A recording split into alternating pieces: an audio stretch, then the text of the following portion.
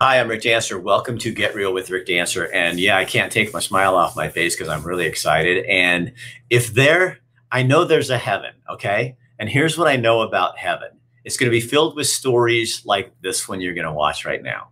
Um, this is what I don't know. My wife was, I was telling Julie Ann just a second ago, my wife's going, God, you're so happy this week. And it's like, because I have some of the greatest shows happening this week with people that I really care about.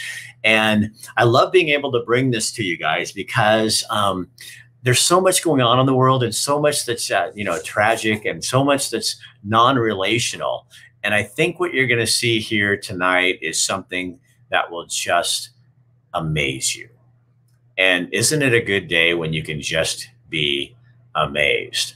Um, before I bring my guest on, we are here because of the Coburg Road Car Wash. We can't do our shows without our sponsors, and Coburg Road is one of our best. And I'm gonna I stopped by to see Renee. I want to show you this little video because it's never a bad day for a car wash. Well, hello, Renee. You're sponsoring the show tonight, so I thought I'd get some video going through the car wash. Is that okay? Absolutely. And it's a great day for a car wash. I'm so glad you're here. It's never it's a bad day. Never a bad day for a car wash. That is right. As you can see, everyone's coming. Watch the show tonight. I will. What time? Five o'clock. Five o'clock, right. Yeah, we're going to have a heck of a time. I'm off here in a couple minutes. I will tune in at five o'clock.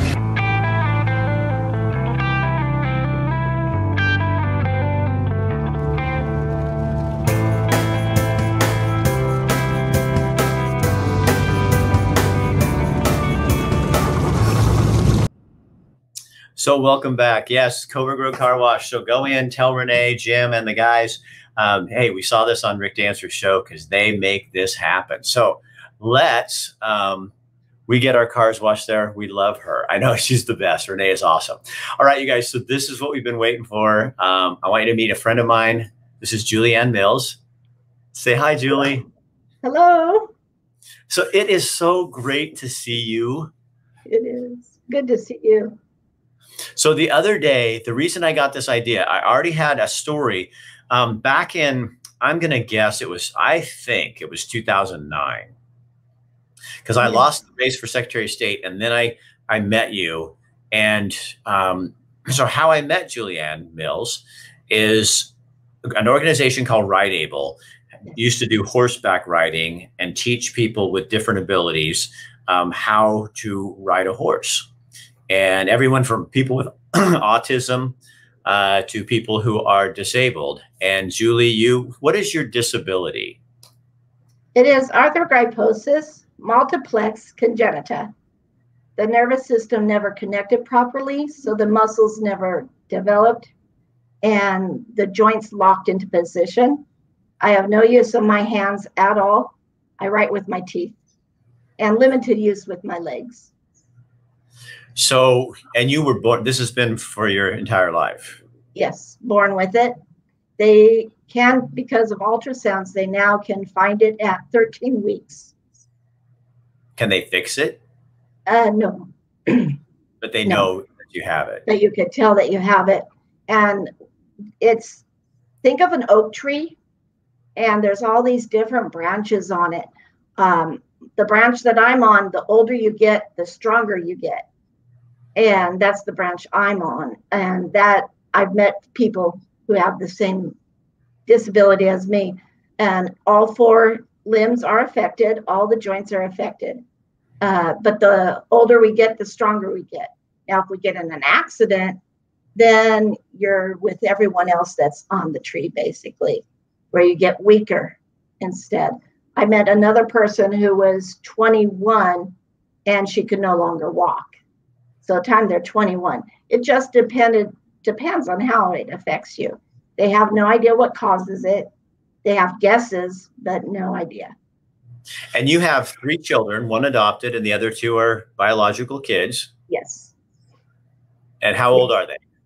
Uh, my youngest is 21, and my son is 24, and my adopted daughter is 21 and a half. So Julie was riding on this horse, and yes. you you said to me that that horse Chica kind of changed your world. I got stronger with her. And I didn't think I could ever ride a horse again. The last time I rode a horse was when I was young. And Chica just, she knew about disabilities. She was very gentle. I started to fall off one day and she threw her butt around under my butt. She just twisted her body and was able to catch me. So I didn't go anywhere off the horse. Um, so one of the time, my favorite was when we were going off the path and Ride Able hadn't mowed their lawn yet. And I'm like, what is that noise? And I remember Monica looking at me going, what noise? I said, it stopped. And so we started going again. And she goes, that's grass. And I'm like, grass crunches under your feet? I didn't know that it made sounds. Wow. And so, because I don't walk on grass. And with a wheelchair, it's just a wheelchair. I didn't know that it made noise. And it was the most exciting thing I could do. I got stronger riding that horse to the point that I got to go to the back area. And I remember having, there's a stream back there. Yeah. Chica kind of jumped over the stream and I was able to stay on the horse. It was amazing. So when Julie and I met then, and then she says to me, um, Well, I paint. And I'm thinking, You can't use your arms. How do you paint? Yeah. And she goes, I paint with my teeth. And so that hmm. inspired this story. And then we'll kind of come back and you're going to show us how you do that. But that Perfect moment inspired this? Everybody's called to do something, and either you listen or you don't. Instructor, she just thought I had something. She loved how I painted with my teeth, and she wanted to give me the gift. I look at the paper, and what should I draw on you today?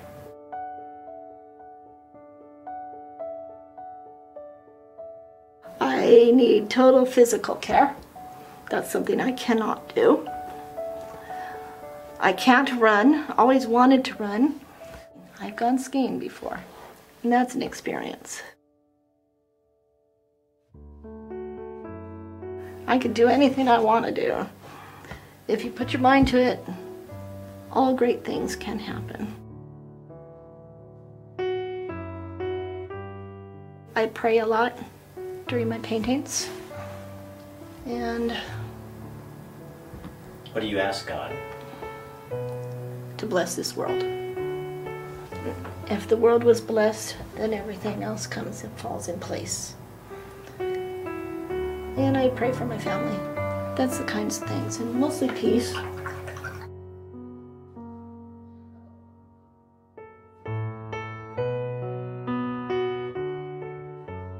I was watching my daughter paint, dance. And she goes, I wish I could paint like you. And I said, well, I wish I could dance like you. And then it just hit me. Painting is my way of dancing. It's part of my soul.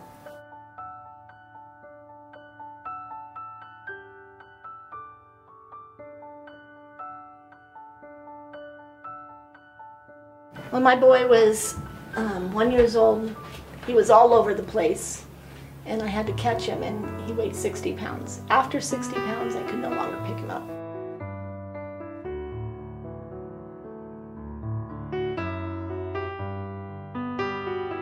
When they first see me, they see a scrunched up little body. I'm only five feet tall. My arms don't work, and most people are terrified of to be around me. They're afraid that their kids are going to get whatever I have. And then they watch me paint.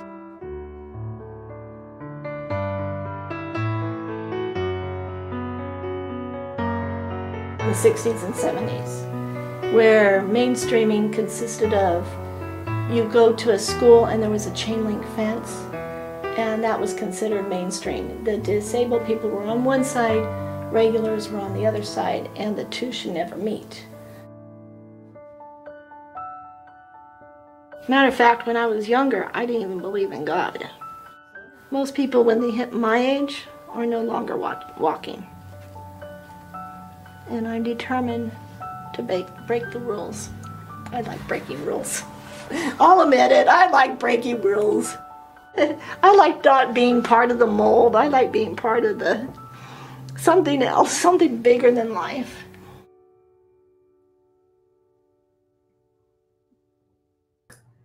And you are definitely something bigger than life. Well, thank you. When you watch that, what do you think? Like, wow. I saw my old dog in there and it was like, oh, my baby. Um, and I just look at my paintings then and I see my new stuff and I just see the growth in who I am as a person, who I am in my paintings, and just feeling really happy and positive. So show people, can you can we see if you do if you paint how you do this? Can I show you two paintings that got an award? Yeah. Can you do that? Yeah, yeah, yeah, yeah. Just a second. Okay. I work for the Mouth and Foot Painting Artists, and that's where you can find my artwork also. Mouth and Foot Painting Artists. Okay. Associate. They're world, worldwide, and they're in Liechtenstein.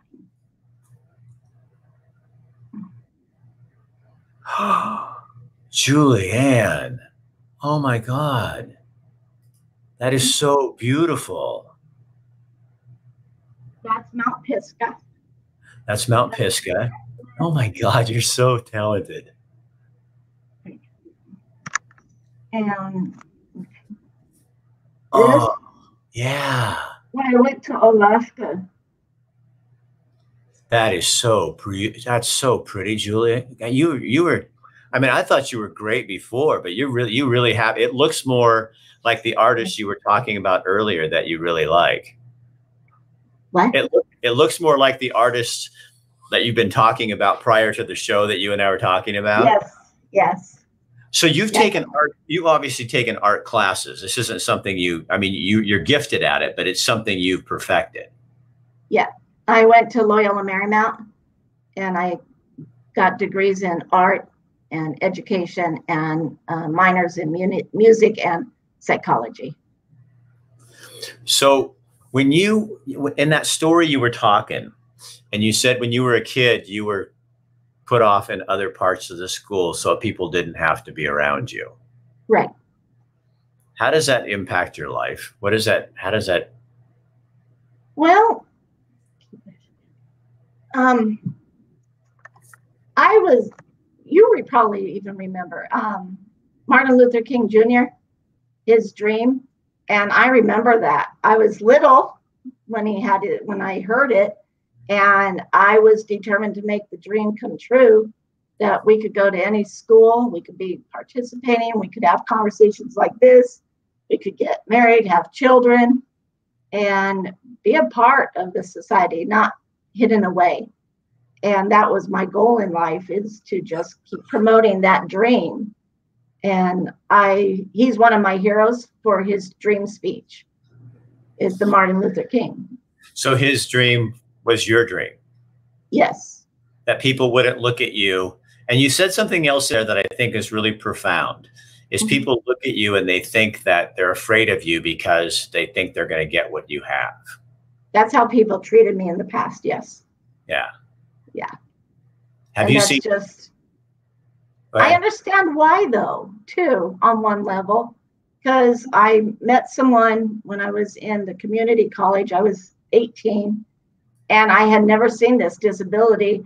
And I thought, well, how would I want people to ask me? So I just went up and asked her, "What is your disability?" Because I was curious, and and so she told me, and it ended up good. So, as an artist and someone who is with a different ability, um, does it makes it harder, or do you don't do you even realize there's a difference because this is how you've always done it? I have that question asked a lot, especially in college. And I said, and I at first I thought, well, first you have to go through all the stages of grief, if even if you're born with a disability. But this came easy to me. Art is in like the family tree. Um, I know nothing else besides using my teeth. I used to be able to lift 60 pounds with my teeth. Wow. And then when I was injured, it was like mm, there is a difference. The you know when you're born disabled, you have a choice to either figure it out and be a part of society or not. Um, but when you're injured, it's it's more of a shock because you lose that ability right. that you once had. Both still both groups, I believe, still have to go through the grieving process. So but, when so you were because you were in an accident and we're not we can't really talk about that, but you were in an accident, injured your back, and and so you um, so you've had both, and it was a serious injury. Yes. So you've experienced what is a uh, more I don't know I don't want to say normal, but probably something that happens. Works. Yeah, so maybe a more normal way to get injured and and see how people are. So you've lived both worlds, and you were born that way. So let me ask you this, because this is interesting to me. So did you have to grieve the being born with a disability? I did a little bit you know, when you have all your siblings are running around, your cousins are all running around. Um, I always wanted to dance, can't dance. And that's when my daughter's like, Well, you are on the paper. And so that's where that came about because she's a dancer. And um, so there is grieving in some areas. So, do you, where do you get how, how do you keep your attitude up? I think like here's COVID, and I think a lot of people are struggling um, because we have now been given a disability. Um, you know what I mean? In a way, we can't go out. We are we are now refrained from doing what we used to do. Mm-hmm. Um, how do you smile? How do you? I mean, you're like one of the most inspirational, kind. I mean, even when you smile, your cheeks get all you know, everything like lines up here and you're like i think people and somebody came on here brian just came on and said brian riggs says julianne is a definite its definition of inspiration thank um, you how do you inspire me where do you where do you get your hope how do you what don't you what don't you focus on what do you focus on i believe in god and i just know that there's something always better um, I get depressed easily. I get angry like anyone else. But then when I have my after I have my temper tantrum, um, I'm like, okay, put on my big girl panties and how are we going to fix it? What can I do to make my life better? How can I? And if I can't fix the situation, I'm going to cheer up because I know that I know that I know that things are going to go well and I paint. And with my painting, that really helps with my um, my emotional state of mind. Also, I have a puppy, and that's really nice to be able to teach him to be my service dog. Because her dog picks things up for her and gives them to her, and you know, and hands them to her like to her mouth. I mean, and onto the table, yeah. Yeah, and what you need done. So she has this dog um, Gina says, I'm an amputee, and the only time I miss my leg is when I want to walk on the beach. What is what in life makes you frustrated, Julie? Not being able to drive a car. And um, because it's a beautiful day and it'd be nice to just go to the beach. So that's frustrating, not being able to drive, having to depend on others. Um, what's frustrating at the moment is finding someone who's a caregiver who can be helpful and no matter what our personalities are but can actually be there for me and so my kids don't have to take care of me all the time right so those um, kind of things so personal care i get depressed over that um, so somebody asked on here rick asked um, Rick Curry, how much is one of your paintings? Um, well, it it just varies. Like I have this small one, and I'll show in a little bit. Um, well, do it. Show me. Yeah, yeah, yeah. Go ahead. Show off your stuff, girl. So, plus I'll paint if you wish. There, can you see me well enough? So this oh. is my robin, and uh, okay. Oh, yes. That's beautiful. and so this, something like this, it's, I think it's like only eight by 10, eight by 12. And I would sell it probably for $150. Okay. And how do people find you, Julie? Um, Um, is Facebook the best? Facebook and then my website, which is www.juliannemills.com and my Gmail. And that is, uh, what is my Gmail? Julie Ann's with an S. So it's J U L I E A N N S A R T at gmail.com. Would you like me to paint while we Yeah. talk? Yeah, would you, yeah, you guys, this is the coolest thing. I mean, I think I can I could do that too, Julie, because there's nothing I can't do and talk. I can talk and do anything. Anything. Well, I Now love painting. She oh, she just comes alive It when just she does this. It makes me so happy. It just makes my day, makes me um just really good. And I got too much paint on. There we go. So Julie, do you think maybe that you're like a conduit for God? Like like he he puts these images into you so and and and you're the only one that can get them out this way that he wants them to happen that way. You know what I mean? Yes. I, I believe that could be a possibility, yes. I I want to be open to that aspect. And I think it's just really important to be open. Because if we're open, then good things will happen and come our way. So when when did you start painting? How old were you? I was nine years old. How did your parents know this was going to be your thing? Who- found that for you? Did you find that, or did somebody say, Um, "Julie, try painting"? Actually, my mom said that um, she was just tired of my one sister and I hanging around the house doing nothing. And we were nine years old. It was summertime.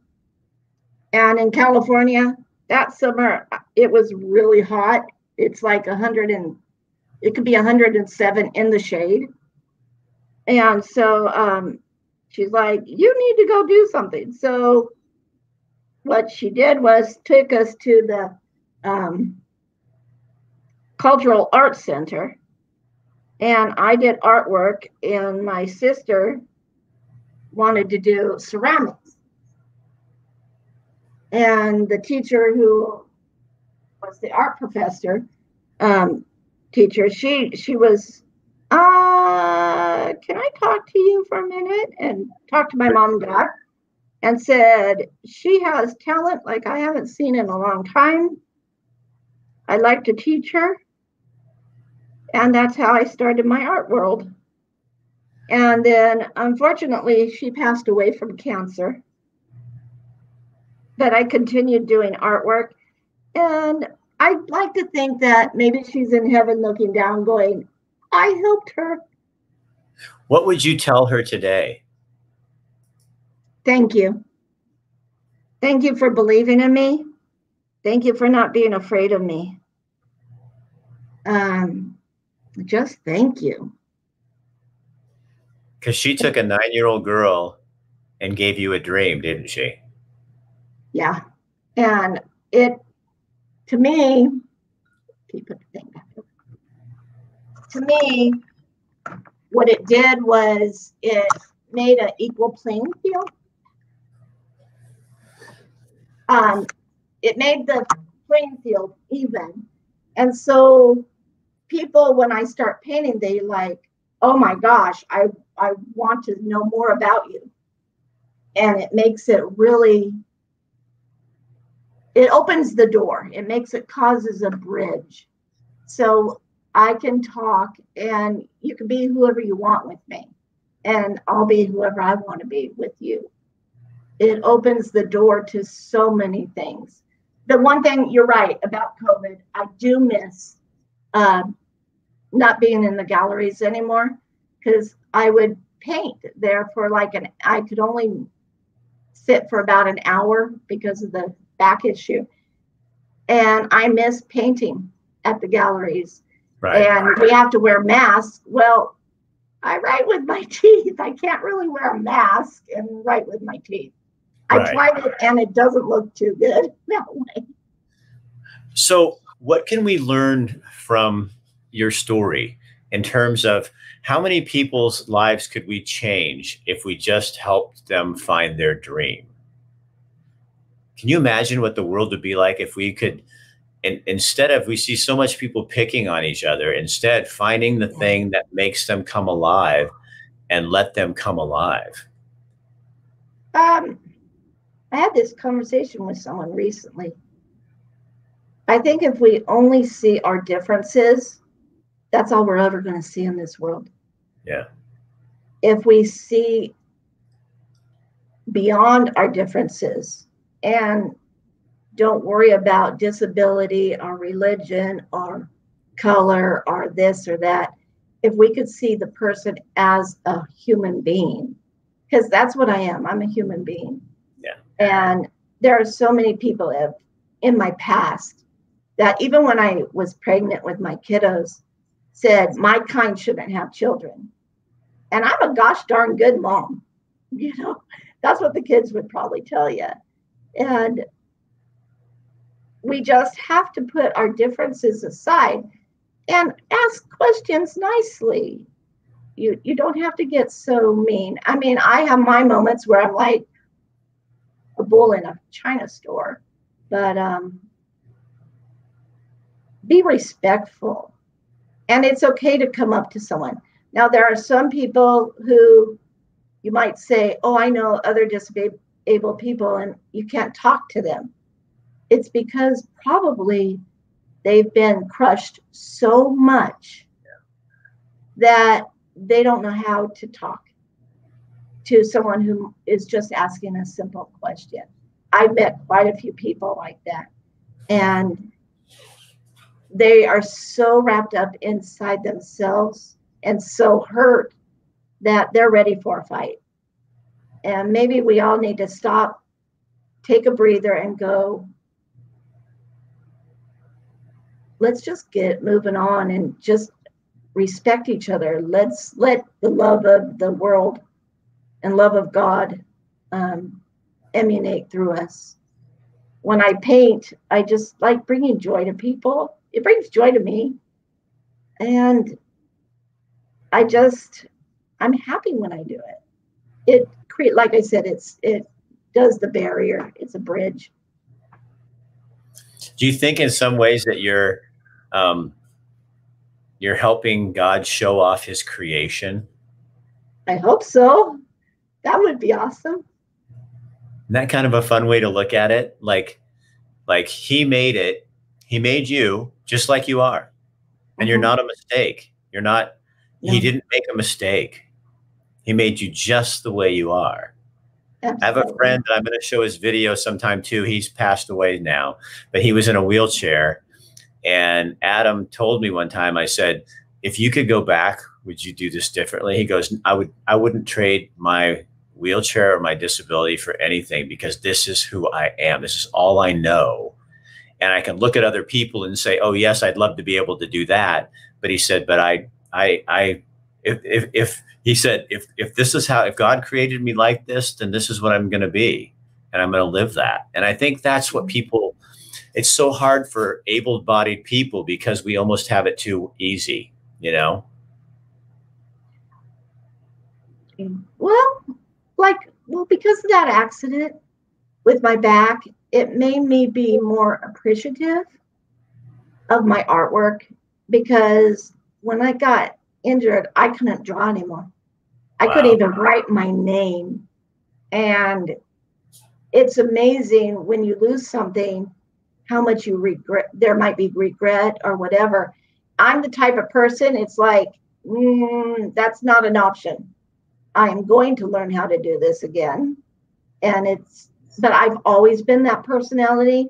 If you say I can't crochet because you have to have two hands, um, I proved to my mom and my grandmother that's a bunch of baloney. You could, I can crochet. Do you Uh, really? Oh yeah, I can crochet.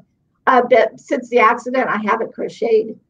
But um, I remember my grandmother sitting in front of the piano in our old house that we used to live in, and I was like nine. I think that's my magic number, I guess. And uh, I said I couldn't do it. And I said, Grandma, I'm lefty because I do everything on the left side of my teeth. So if you want to ever, anybody out there, you want to try writing, if you're right handed, put it in the right side of your teeth. You're left handed, put it on the left side of your teeth. And make sure the pencil's clean though, or the pen, because it's really gross if you don't. Trust me on that one. It tastes terrible. Um, but I did. She she said, okay, give me an hour so I could try to learn how to do it left-handed. She did it left-handed. I looked at her. I said, you mean like this? And I just watched her and I just whipped it out. The crocheting. Um, but I do everything So if I'm talking about the accident too much, just tell me no. But because this is just my thought is, so your your alleged disability is your normal life that's my normal life. The accident really made you disabled. Yes. And then now you're back to your abled bodied self. More, you know, see what I mean? Yes. More, not I mean, as much as I used to. Issues. Not as right. much, but I've overcome a lot. And it's because I made the choice. I made the choice to live. And there's so much to live for and the earth is so beautiful. There's so much I want to see, so much I want to do. And a little accident's not going to stop me. yeah, I don't think I don't think anything is going to stop you. So, what do you um, what do you hope uh, for the world? What do you hope for people?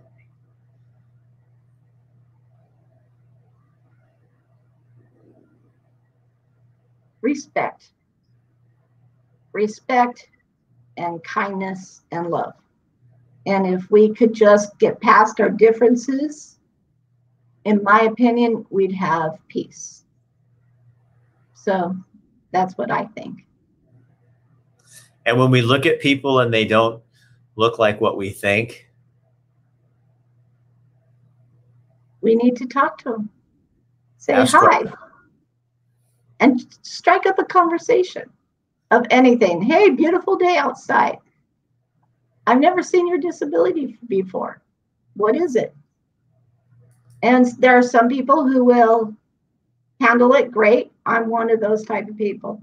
There will be other ones who are like um, stranger danger, and just go okay, and think, say say a little prayer or say it send some positive energy their way. Right. And at least like I, I felt that way the first time I um, saw a veteran and in a wheelchair. And and I wanted to say thank you for your service and I just felt stu- kind of stupid Why? you know? And I don't know. I just felt like I didn't know what to do. And so then I said thank you for your service. And the look on that person's face now I can do it all the time because it was mm-hmm. like it was a relief, you know. And I, mm-hmm. I do a lot of work with people with different abilities, so I'm not afraid to ask them anything, you know. Oh, yeah. And mm-hmm. I say to my friend Amelia Abel, she she experiences Down syndrome, and I I tell her. I don't see what other people see. And she goes, I said, What is Down syndrome? She goes, Look at my face. And I said, I don't see it because I, I know you too well. You know, and I mm-hmm. think differences go away when we start seeing their heart and somebody just said on here, I love Julie's smile, love her smile. So a smile can just take away the things that uh, on you that don't look uh, as normal as other things or when you walk or something. Can you still walk? No, not like I used to. So you're not like you used to see me. Yeah. I could maybe go with someone holding me, I could go maybe six feet. Jamie's so Jamie Zagar, your son has Down syndrome. He experiences Down syndrome. Um, I am, I'm excited for you. I think people who experience Down syndrome are some of the sweetest, kindest. They teach me so much, and I hope this isn't belittling anything. I that's not my intent. Um, but I kind of feel like um, they love everybody. You know, I mean, my friends with Down syndrome, they come up and hug you, and there's no walls. That's what I love. People with disabilities, with you know, in the community, there's no walls. Rick, you know, when I had cancer, when I found out I had cancer, I was really scared and I didn't see a lot of people for a while. And then I went to a thing with the Oregon Supported Living Program, and all these friends of mine with different abilities were there, and they all came up and started hugging me and crying. And are you? And they said, "Are you going to die?" What nobody oh. else would say, what other people wouldn't say, but were thinking they would say. And it was so releasing. It was like I cried and then I went, no, but thank you, because I need to talk about that. I need to tell you, no, I'm not going to die, you know, but it was like they were asking. Um, she says, he's a huge blessing, proud Downs mom. Oh my God, he's going to just make your world so wonderful. And uh, oh, yeah. you will always be loved, Jamie. Um, even when the rest of the mm-hmm. world turns their back on you. Um, my Amelia Abel would never turn her back on me, ever. So, Julie, um, Mm-hmm. I just love who you are, and I love like what you stand for, mm-hmm. and I love your what your paintings are doing. And oh, guess what? The other thing I know about Julie is so she wrote me. This is how we got reconnected because I figured out the Mustang was her. But she saw a picture I took of a daffodil in front of my house. That's right. wrote a message about it, and she goes, "Rick, can I paint that?" And I said, "Oh my gosh, yes." So I um, and then I asked her, "Well, can I get a copy of it or something?" She goes, "No, I have to give you the original." yeah, because of the mouth and foot painting artists, what they do since I work, I get a stipend every month, and so it's that's how I live is off of their money and um, paint. And if it wasn't for them, I wouldn't be able to do all this painting. And they're in Liechtenstein Who's this group? Who is this now? It's the Mouth and Foot Painting Artist. And so because association, yeah. So they fund help fund your you and then you pay. Well, what it is is it's um it's a group of, of people in Liechtenstein. This guy was paralyzed in 1940 and he, there was nothing wrong with his brain, but nobody wanted to hire him because he's in a wheelchair. So he started painting and he started this group, and it's only for people who write with their teeth or write with their toes. And it's all, it's a nonprofit, and they take your paintings. So if you get accepted, you turn in, you have to turn so many paintings in in three years. So about 15 to 20 paintings. I try to do 20 uh, to get over the limit. Plus, it gives more of a variety, in my opinion. But this group, they make cards out of them, puzzles, uh, picture books, all kinds of neat stuff. They have a website and everything. I have never heard of anything so great. It's wonderful. So I that- tried so many years to get on it. And that's what else started my painting. It was before age nine. It was because I remember I was three years old, and when I was three, I couldn't walk, I couldn't do anything because if I wanted to go from room to room, my parents had to pick me up and put me there. Uh, and so that's why where how I started, not being able to move around or anything, just just my head bobbled and my smile or talking. Um, and I remember she got some cards in the mail and it was from the mouth and foot painting artist. And she goes, Maybe you'll be able to do this someday. And here I am. In 2006, they accepted my artwork, and I've been painting for them ever since. Wow. So your mom spoke it into existence, didn't she? Oh yeah. And I and I'm the type of person who's like, if if, if there's a will, there's a way. And if there's a mountain in between us, I'm going to go through the mountain. I'm just so, going to make it happen. So when you were little, how did you get up? Did you learn to just rotate yourself up? Because you can't use your arms at all, right? No. Uh, I couldn't walk either very well. I had a walker. So it's a stroller that grows with you. So the older you get, and you're encased. So think of a baby stroller, and okay. they just get bigger and bigger as you get older. Well, you know what? That's why you're so. so that's how I moved around. That's why you're so wild.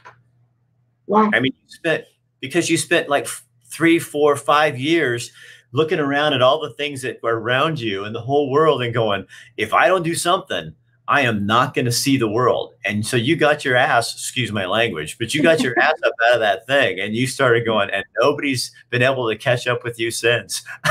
exactly, exactly, exactly. And I've been to, well, it also, I like to travel too. And I think it's because my dad's from Oklahoma. And so we would drive from Anaheim, California to Oklahoma to the panhandle um, like every year, or every other year. And so we got to see a lot of uh, the U.S. and and and its beauty. Julie Ann Mills, thank you so much for coming on and doing this. And yeah, Renee and all the folks at the Co- uh, Coburg Road Car Wash, thanks for sponsoring our show. Um, Julie, you can go in on the comment section and put in more information about how people can get in touch with you or find your paintings. Um, you can do that yourself and just put it in there and they'll they'll know. And ha- you go to your page and answer people's questions and stuff like that because they'd love to do that okay? Sounds great. All right. I will see Great you later. with you. you too honey. Love you thanks. Take care.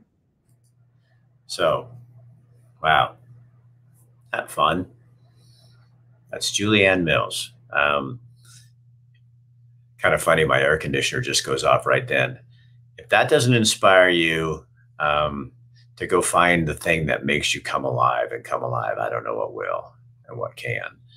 Um, you know, there's different reasons for things to happen in our world, and how I ran into her um, one day near my house um, was a lucky break for me.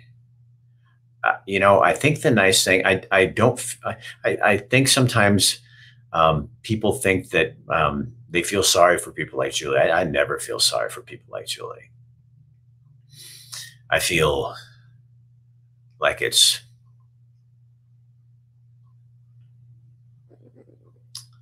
almost proof um, humanity that it is still there. It's just sometimes really hard to see in this day and age. So, so um, that's it for tonight. Um, I am going to tomorrow night. We are going to be talking about redistricting the state of Oregon, and we'll have guests on tomorrow at five o'clock. This is a very important show, very important topic in our culture. Um, and then on Thursday night, uh, Donna Ream, uh, the lone survivor from a killing, a Dairy Mart killing in 1994 here in Eugene, um, is going to be joining us uh, to talk with us. The the 27th anniversary of that is on Saturday. And so I contacted Donna. She's never really talked about it since this all happened. And she's going to join us on the show to talk with us. Julie, thank you so much for your time.